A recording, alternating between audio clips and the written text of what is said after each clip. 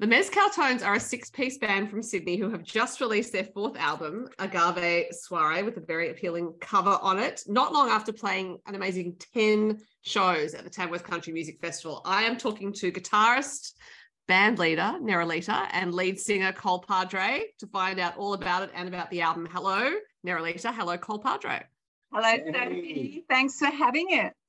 It's an absolute pleasure to be talking to you again. Although I'm not sure if you can have recovered from 10 shows at Tamworth. That's a really packed schedule. So take me through it. How was it? Have you indeed recovered? Okay, so we were very fortunate to be um, to have shows booked at West, both at the Diggers and the Leagues Club. We're alternating between those two, and plus we did a a showcase at the fan zone, and of course Tamworth Shopping World. I mean, one has to do. Nice one has to do a show there. Chad does one, so we had to do one. Anyway, it was um, quite hectic, but um, very successful, and we've been booked again for next year. So very, very happy about that. Well, they're obviously getting in early to make sure they can get you because I would imagine if they hadn't, other venues would have snapped you up. But Col, how do you take care of your voice with a schedule like that? Because it's a, you know, these are long shows. It's not just three songs and you're out of there. Yeah, well, thank that's a good question because it's something that you, you don't realize until you go on tour how, how how important it is, and it all comes down to warm ups. I when I when it's just your, your average sort of you know one gig a week, it doesn't really matter. But if you if you do the warm ups, and I used to used to laugh at warm warm ups when I was younger, but you do the warm ups, you do the right thing. You don't gas on like some people like to talk a lot, not me. Not me. I'm not like that. But after a show, you don't gas on afterwards and drink lots of stuff. You, you go home, you eat lots of good food. She talks a lot off the show, not me. Not me. So yeah, and be careful. You know, you, you just got to do the right things. Make good choices. Do you have so you have warm ups? Is there such a thing as a warm down for the voice after a show, or is it just not talking too much? Is the warm down? You know, all the rules are you're supposed to just simply have uh, warm or room temperature fluids. Mm-hmm. As you'll notice that I, I, always do that at my shows. I'm always having fluids. Well, that's because the beer the beer gets warm by the time it's been on the stage for half an hour. Is that what it is? That's why I buy six at a time. Anyway, kiddies, I'm just I'm just joking, kiddies. Any children watching this, this is just a joke, ladies and gentlemen. Um, but yes, yeah, so the warm down involves um, lots of warm beers. Sorry, Kitty. No, it doesn't. There's no such thing as a warm down in my world. No, it, it just sort of I go to sleep. That's a warm down. Right. now, Neralita, anyone who has seen the band live knows that you and Mimi, who features on the cover of the album, are fabulous. And there is a lot of fabulous fabulousness that goes on. I'm wondering how you maintain it in the Tamworth heat, though. It's it's quite an art. Look, it's game face on, Sophie. It's just like, you know what? No matter how tired you are, you just get up on stage, have a, like a G and T and just get into get into the groove. I love you. She's so good, isn't she? I, I make it through there with my. I'm surprised you didn't ask me how I look so beautiful all the way through. Basically, I look at the world through rose-colored glasses, and everybody looks beautiful to me. But um, she wouldn't allow anybody not to look fabulous. Yeah. She she runs, and you forgot to mention she also also drives the Winnebago. She's not just the boss of the band, but she also drives the Winnebago. No, but you know what? It's all it's all about keeping the um the look fresh. So we like have lots of different outfits. Mm-hmm. Um boys have lots of different shirts to match the girls' outfits, and we just like to keep it engaging and engaging. Isn't that good? And all of our shirts when we play in Tamworth in, in you know a nice cool 35 degrees, and that is a nice cool. They're all black. They're all long sleeve, and they're, they're really well made. They're manufactured, really good, thick well, you know, and I, they soak up the sweat, and you know, you get something that adds about eight pounds, I reckon, per day. And that's how we keep fresh: is just have nice wet shirts. well, I, well, actually, well, I'm thinking you're warm down. Would it involve washing the clothes? tell you what, it must look like a. I, I imagine like a, a footy mum's line. You know, it's your turn to wash the team's jerseys because there's all these matching shirts on the line. and, and there they all are. All right, tomorrow. But it's good. We've got a few outfits, so we, we made it through 10 shows pretty well, actually, without having to wash. Oh. Wash the clothes, I mean. Well, right. even then, I don't really want to know what the washing smelled like as you were driving home, but that's neither here nor there. Sophie, what happens on tour stays on tour. You know that. You've been, well, we've been on tour together. We know that. Okay. That's true. That's true. There are some things that shall never be spoken of again. Nerola knows what I'm talking about. All right. So you play regularly around Sydney um, in the main. Um, you also keep up a regular rehearsal schedule. I'm wondering why it's important to you to rehearse so regularly when you play so much, because some bands would just think, you know what, playing is the rehearsal. Neralita, I think that's a question for you. It is definitely a question for her. But we replace the word regular with grueling um, and, and, and punishment. Get that in there somewhere. So anyway, go ahead with our regimented grueling schedule. So so basically, I like to keep the band well rehearsed mm-hmm. and also introduce new material. So uh, to keep to keep the sets fresh and um, yeah, so you don't expect the same set list each time you come and see us. Yeah, and dance and dance and, and dance. Yeah. Do you know how many songs you know as a band? Um, about. Some people would say after a gig that I don't know any of. about 60 or 70, something like right. that. Yeah. Yeah. That's a lot to keep in the repertoire at any one time. Yeah, yeah. but she's supposed to know 90. Yeah. And you're marking her constantly, Col. it's a numbers game, Sophie. I mentioned that earlier. Look, I like the way you've tied that in there. It's very neat, and I appreciate the synergy. Maybe we could call it that, okay. or theme that's emerging. we can go with that. Yeah, yeah. I, I calculate that's correct. But I did ask that question deliberately about rehearsal because it goes to uh, the consistency of the output on the new album, Agavé Soirée. Because what struck me straight away about it is how tight the band sounds. Now, when you play live, you are an incredibly tight live band. That's why you have people coming back. Well, it's one of the reasons why you have so many regulars who come to your Sydney shows, who come back to your Tamworth shows year after year, because they know they're going to have a really entertaining time because you're really, really good. It doesn't always translate to recording though, because the studio is obviously a different environment. So, how did you ensure that you could replicate that sound from your live show or the tightness of the sound of the live show on this album? You know what, Sophie? What we did is like we. She's nailed it, hasn't she? Yeah, we actually um, made sure that we were playing all the songs on the album live for at least what three months, four months right. before we went into the recording studio, rather than just sort of write the tracks and um, keep on working on them. We made sure that we finished them in time so that we could include them in the set and um, make sure that they del- delivered live as well. And not just that, but just little the little tweaks. You know, you, are doing it and you just hear something, you go, yeah, and and really, we're not a we're not a a, a band that's totally loaded. We're really stoked. We're sponsored. We're happily sponsored by the Manly Longboard Company, and that really helps us out. We wouldn't be able to record at all if it wasn't for that. But the luxury of going into the studio and writing an album, oh, that would be awesome. But that's not us. We have to be totally rehearsed. So you actually you actually nailed it. It's all about, and we rehearsed and rehearsed. We wrote, we tweaked, we tweaked, and we got them exactly how we we knew we wanted. We we did pre pre production recordings of them. We we knew what we were going for, and um and we were able to go in there and just get it really positively. I also really like that the structure of the album mimics one of your sets. You start with an instrumental and you end with an instrumental, and so it's it is like this whole journey. But when you were choosing which order to put the songs on the album, were you thinking of it like that? I was, yeah. Base, it's you're quite right. That's how I write the set lists. I um, we usually do. You look at keys as well, and how the the next song will relate to the key before it when she puts the set list yeah, but I usually try to start with an instrumental. Mm. Um, in this particular, just in case I'm late coming back from the bar or something. that has happened. It's been witnessed. I, I know. I know to come back. Oh, they're playing. I must be needed eventually. but um, we don't always end with an instrumental, but it felt right to put um, Amity at the end of this as a sort of con- concluding song on this album. So yeah, and it does work well because it's sort of when the album's on repeat. It's mm. you enter the cycle again, and then it's like, yeah. oh, I'm back here. How great! And yeah. now there are several originals on the album. Col Padre, are you the chief songwriter? Well, I used to be, um, but management's got involved. Uh, I don't know where that came from. Um, uh, I tell you what, it, it's interesting because Shango and I, um, basically the process with us is um, Shango will get an idea and and and work it to a certain level, bring it to the band. I'll I'll get an idea, I'll, I'll work it to a, a certain level. Um, I might take it to Lukey, our bass player. We might work some stuff in. The, the, the bass line will then become a primary melody line in the thing before we bring it to the band.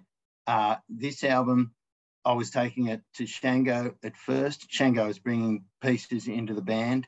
Mm-hmm. Um, let me actually now that's a pretty good question because when I think about the first album, uh, I was writing more second as well. And the, the, last album, Shango really started to enjoy writing, and and and and um, he wrote a few more. And, and this album, I think he's taken a, a, a stride, quite a, a, a, strong lead on this.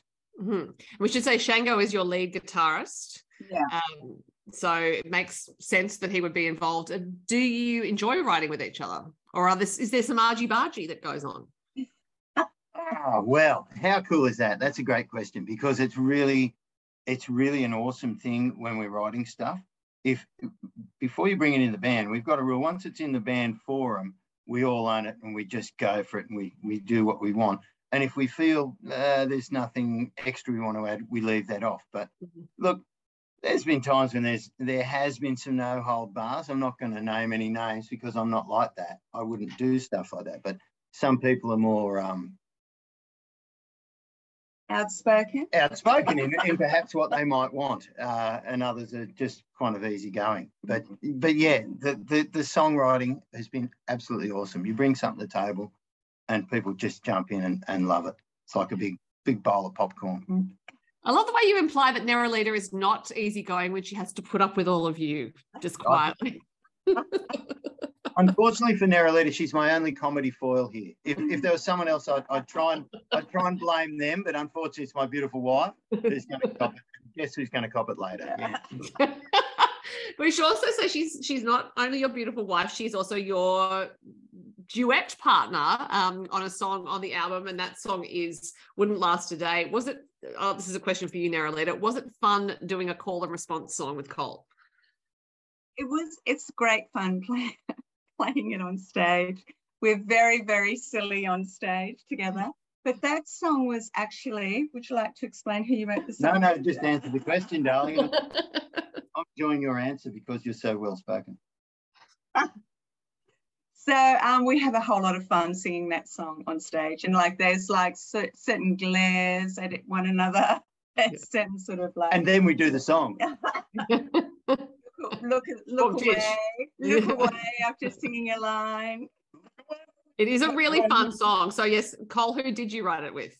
Okay, so I get to do this really cool gag, and it's not a gag because I said it by accident the first time. I said it's okay if you if you if you wrote it with another woman, but you were thinking of another woman when it was happening, and I, I think I got away with it. So I, I said something like, "So sure, I did write anyway, no, I, I, look, I tried it once. I think I got away with it once. Uh, that'll do.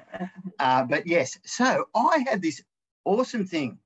Um, I got retrenched during COVID, and that was pretty awesome. And I thought to myself, I, I said to the missus, do you mind if I just sit on my backside and do nothing for six months and just write some songs? And um, she said, sure, honey, no problems. I'll, I'll do all the work. and um, so I did that. And I, I went and did a, uh, I was asked by uh, the beautiful and talented Danny Young to do a collaboration. Now, this was years ago, and I, I sort of didn't know what she meant at the time. I wasn't sure. Um, but I think she meant write a song. And um, so I'd forgot about that. And then I, I, when I was unemployed, I thought, you know what, I'm just going to go out and, and explore some songwriting things and contacted her and, and she couldn't remember me at all. Um, but we did, she could, of course she could. I was just joking. And uh, I went around her place and we went to this beautiful area, this little sort of almost an atrium with a beautiful, peaceful garden outside with these beautiful ferns. And I think there was little birdies tweeting outside. And we wrote this song about arguing. And it was one of the most peaceful and beautiful moments of my life. And she's cool. Danny, how you going? And that was really cool. Thank you for welcoming me into your home. And so, yeah, we, we were going to actually record it with Danny singing and we were we.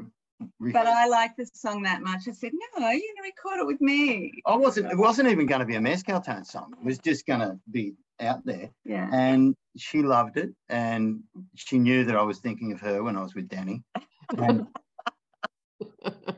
and it's true you, it's true you wouldn't last a day without it let's face it that is the name of the song what happens on tour stays on tour sophie no, no, the truth is yeah Neri runs things around here and and she also runs the band yeah. But it is it's it's a really fun song to sing it's very yeah. silly on stage it's a fun song we, to listen to as well yeah, yeah we ham it up real it's a little real we ham it up a lot yeah. But Neralita, you also took lead vocals on another track, and that's not something you've necessarily embraced in the past, actually. I've noticed you doing it more live. It was great to hear another song from you on the album. Are you singing more now than you used to, or is it just a perception that I have that you are singing more? Um, you know what? That was an, that was another song that Carl wrote with another woman. and um, ladies, I, just look at the number at the bottom of the screen. Give me a call. call me. Call me now. What are you wearing? oh, you're outrageous. Sorry. And um, anyway, and I said, oh, I really like that song. I, I think it should be a Mezcaltone song. And what what do you think about if I but I had a go at singing it? And um, yeah, so it wasn't sort of intentional. I just thought it was a really, really good song. So I thought I'd give it a try, and I think it came out okay. It did, absolutely. Um, now, Col, this is a, a, question for you. The band also makes great videos, and the latest is Motorcycle Girl. And these videos are your creations. What do you like about the video process?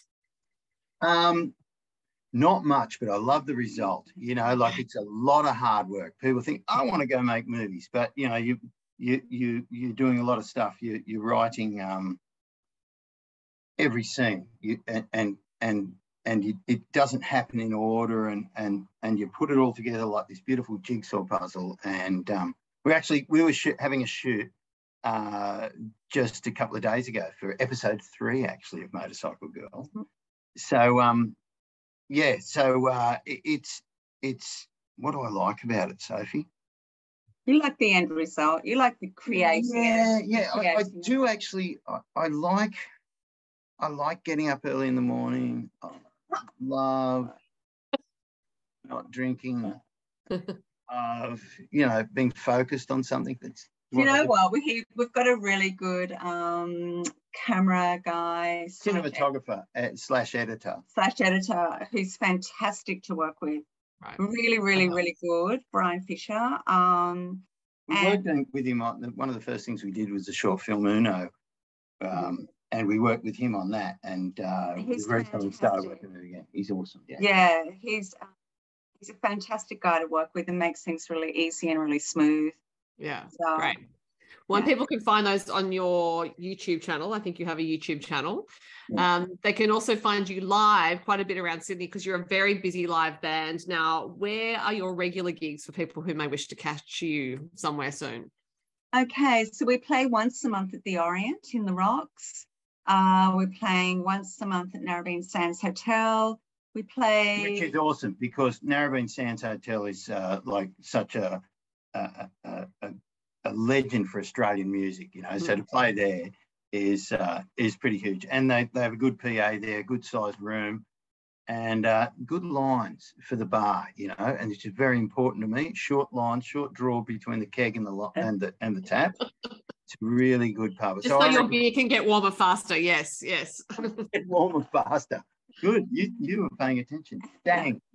and um, we play at the Marrickville Bowlo once every three months. We've got our album launch this Friday night, March 3. Um, at well, we don't know when Sophie's going to post this, so it, it is true. March 3. To edit it out. Which is yesterday. We're doing, we did that yesterday. Um, and we play at Collaroy Beach Club regularly. Uh, Shady Pines. Shady Pines. A lot of places, really, yeah. yeah. Shady yeah. Pines is really cool. They, they, they give us lots of gigs. And, and the yeah. reason why you get lots of gigs is because you are great live. And even though I've known you both for a very long time, you are fantastic live. And that's why I come back regularly because it's always a guaranteed good time.